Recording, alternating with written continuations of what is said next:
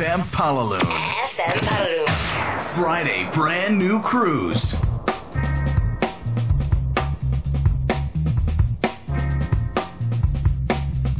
さて、えー時刻は11時17分を回りました。水戸駅南口コムボックス310 1階サテライトスタジオから公開生放送 Friday Brand New Cruise。続いてのコーナーは週刊水戸ノートこのコーナーは毎週このスタジオに水戸で活動活躍している魅力あふれる人をゲストとしてお招きし活動内容などさまざまな情報を伺っていく15分間です。出演ゲストは毎週水戸の魅力発信家がコーディネート。これまでも小学生から90歳以上の方まで水戸のキラキラと輝く方々に出演していただきました。さあ今日のゲストは爽やかなイケメン2人とご紹介させていただきます。水戸市体育施設整備課スポーツ課、えー体育施設整備課の奥田博さんとスポーツ課の永井武弘さんです。こんにちは。こんにちは。元気。元気。すいません、イケメンで。ね、あの奥田さんは、はい。さっきねあのちょっと番組始まる前に誰に似てますかって言って、俺野球がお好きだからてっきり前田健太って自分で言うかなと思ったんですけどあそうなんです論文淳という答えが返ってきました。中日の浅尾っていうのも言われたことあります。朝尾いや論文淳だそしたら。前田健太は言われないですか？言われますね。言われますよね。はい言われますよね。そういう系ですよね。ええ。永井さんは誰に似てると思います？そうですね、中学生ぐらいまでだと早見もこむちだったんですけど、そこからはもう一もう一気なくなりましたね。なくなっちゃう。でも親しみやすいね。僕の友達にとても似てます。はいそれはよく言われます、よく言われるんはいです。かね、えーお二人とも水戸市出身で、えー同期なんですって？そうなんですよ、4年目ではい。仲良くやらせてもらってます。あそうですか。ね、奥田君。そうですね。はい。年はちょっと違うでしょでも。そう、歌2個 ?3 個ぐらい。3個ですね、はいはい。仲良し同期ですね。そうなんさあ今日はですね、あのー僕もとても関心があった水戸市民球場の改修と、えー記念事業の紹介についてご紹介いただきます。水戸市民球場、ね、高校野球の、えー地方予選で私もたまにねあの観戦に行くんですがこのほど、えー改修が、えーほぼ終わったということで、はい。じゃあ奥田さん、はい。えーその市民球場の改修工事についてこれいつからいつまで、まあ、今月でもう完成ということですけど、ええ。そうですね。去年のあ夏の県予選が終わってから工事の方着工しまして。で、まあ、水戸市としてははいはい。翌年の夏の県予選までにははい。工事を終わらせて、えー夏の県予選は継続して行いたいっていう意図がありまして。じゃあ、えー去年の7月ぐらいからってことでね？そうですすね。7月の大会が終わり次第すぐ工事入りまあして。じゃあおよそはい。1年間かけて、はい。えーこの、まあ、工事の目的というのは、そうですね大きく2つあるんですが、はい。まず1つ目があの、まあ、古い建物っていうことであったんで、うんうん耐震基準が昔の基準だったということであ今の基準に合致してなかったとい。うことから耐震補強をして、え今の基準に合わせましょうとはいいうこととですね。あと来年の「いきいき茨城夢国体」はい。の軟式野球と、はい。高校野球の会場になっておりまして、ええ。であの現在の野球場っていうと、まあ、両翼が97メートル、まあ、センター122メートル、はい。でこうプロが行う球場っていうのは両翼が99メートル。はい、でセンター122メートルほどが、まあ、努力義務ですよっていう基準もあったり義務なんです？しまして、あプロ野球の両翼って99メートル以上じゃないとダメなんですか、まあ、あくまで努力義務っていう努力義形なんで務なんだすが、まあ、今の基準に合わせたいと、うん。まあ、将来プロ野球も誘致を想定したっていうことを考えて、ええ。今回その両翼が93からはい。100メートルに伸ばして、ええ。でセンターを120から122メートルうんうん。に拡張したっていうのが大きな目的になります、じゃあフィールドが広くなったということですそうね。ですねはいえー100メートル両翼100メートルで122メートルセンターになったということですね。はい。はい。さあ、えーこれは具体的な工事の内容ですね。そうですね。まずあのメインスタンドについてなんですけど先ほども話があったの耐震補強工事はい。を行いましてまたそれに合わせてあの、まあ、かなり老朽化していた屋根も新しく取りまして、え。あの軽量化させていただいたというところとですね、はい。あと今度は選手目線なんですが、うん。まあ、ロッカー室関係すべて新しくしまして、内部ですね。そうですね、ん。初室のまあ壁であったり床天井もちろんなんですが、はい。あの空調関係も一新させていただきました。あとはトイレの改修なんですけど、はい。今回すべて洋式化にしたということと、ええあと男女ともにですねベビーシートベビーチェアをすべて完備させていただきましてあの男性の子連れの方でもええ安心してあ、え、トイレに？観戦できるようにトイレの中に？そうですね。トイレの中にベビーシートのブースとよくあのスーパーとかなんかそうですねここにちょっと乗っけて、えああそれは嬉しいですね。そうですね。うん。また先ほど話した外野スタンドの話なんですが、はい。フィールドを両翼93から100にでセンターを120から122メートルに拡張したということとですね、はいはい。あと選手面の安全からですね、うん。ラバーフェンスの高さをこれまでより1メートルさらに高くしました。あこれあれなんですか？低いと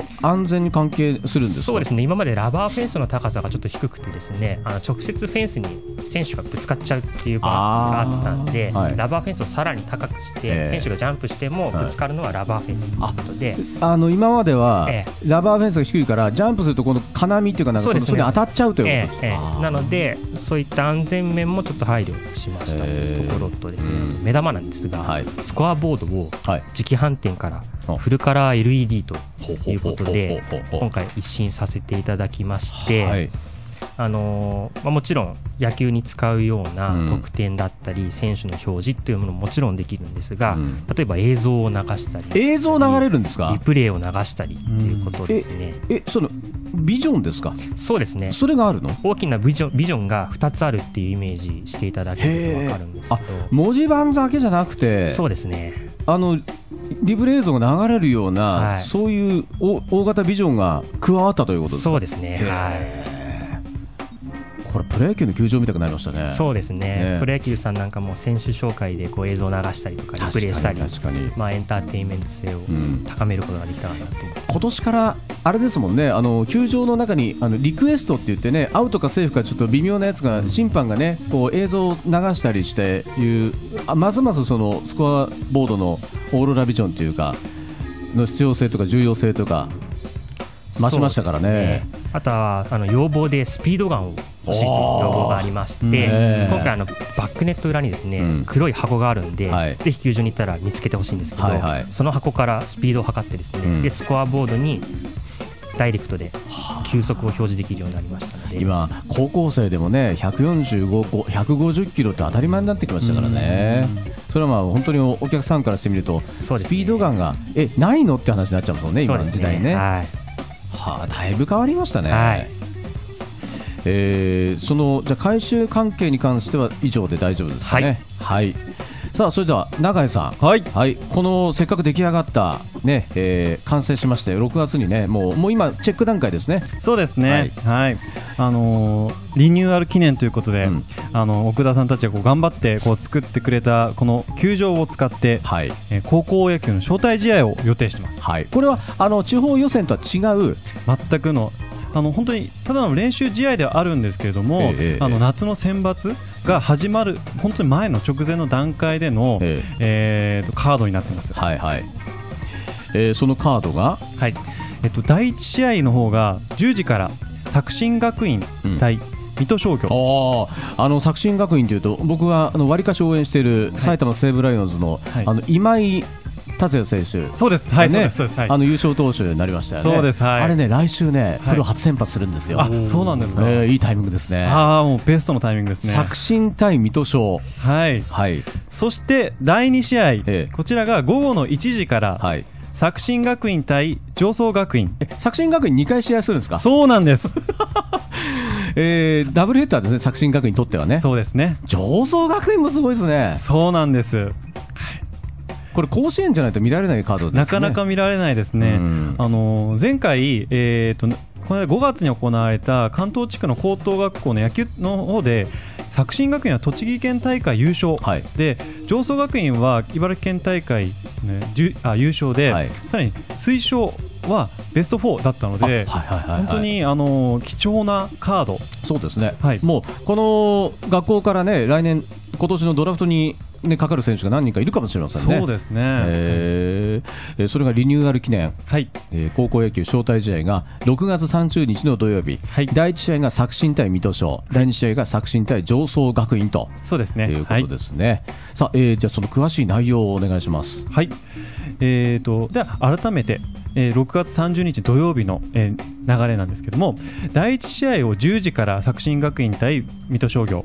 で第2試合を、えー午後の1時から作新学院対上層学院という形で、えー招待試合を行います、はい。でまたですね、えー、とこの後、えー第2試合が終了した後にですね今度は当日来ていただいたお客様を対象にグラウンドの方を開放していく予定です。中に入れるという。そうなんです、えー。まあ、その作新上層推奨が戦ったそのグラウンドにぜひ皆さんお越しいただいて各種イベントを用意しております、はい例えば。えー例えばですね今回、えー、と奥田さんからちょっとお話があったんですがスピードガンをあの新しくなったということでぜひ体験してほしいということでスピードガン体験、はい。ぜひマウンドに立っていただいてうん。ボールを投げていただくと、うん。で自分の球速も測れちゃうよといううん。そういったものを用意してます。はい。自分でやったら何キロぐらいですか？お奥田さん野球やられてたんですか？全く経験ないですね。ええ何キロぐらい出るんでしょうね。そうですね、まあ水戸市の前田健太は何キロぐらい出るんですか？そうですね、まあ、148ぐらいは出せるんじゃないかな。結構出ますね。大体ね、でも、どれぐらいか、ね、新しいスピードガンで試してみたいですね。そうですね、ははい。い本当にスコアボードも新しくなったので、バッと投げて、バッと出るといいですね。ね。そうですね。うん。ね。また、えースコアボードが新しくなったということで、そのスコアボードを背景に、うんいい写真撮ってほしいなということで、はい。あのグラウンドの方ですね、あの青い、えー緑色のですねグラウンドの方に立っていただいて、スコアボードを背景にフォトスポットというのをちょっと予定してます。へなので、インスタ映えできちゃうような写真も撮れるような場所を用意してます。いっぱいいいねがつきそうですね。いっぱいねつくんじゃないでしょうか、奥田さん。はい。6月30日土曜日ですね。はい、はい。えー入場は無料。はい、無料でございます。これあの、グラウンドに降りるのも含めて無料なんですね。そうなんです。野球を見てはい、ぜひ。一日楽しめそうです。はい、はい、わかりました。えー今日は市民球場改修工事について、はい、え1年かけて、ねえー完成しましたで今年の夏の地方予選に間に合いますこけら落としが作新学院対水戸商業、第2試合も、えー作新学院対上層学院は10時と13時と、え1試合ずつございます。ぜひ皆さんグラウンドに降りて真新しい球場をですね、えー堪能していただきたいと思います。すね。はい、えー今日お越しいただいたのは、えー水戸市、えー体育施設整備課の奥田博さんとスポーツ課の永井武弘さんでした。どうもありがとうございました。ありがとうございました。and more. Let's go! 76.2. 76.2. Right on. Brand, Brand new cruise. cruise.